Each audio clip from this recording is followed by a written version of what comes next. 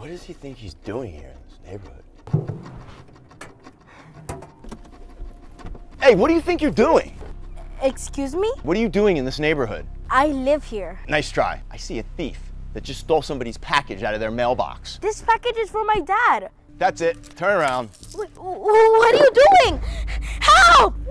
Sit down shut up. And you want to get loud? What's going on out there?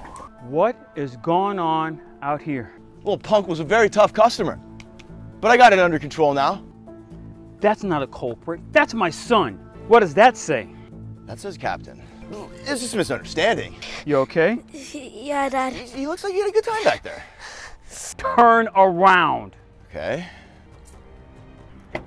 Get in. I can't even fit back there. We're going on a trip, son. You ready to roll? Yeah.